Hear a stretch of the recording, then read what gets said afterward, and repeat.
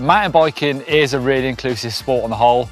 It's not like something like surfing where the localism could be a big problem. Actually, you should be able to just rock up and ride trails as long as you respect the locals and maybe even offer to help out with a dig day.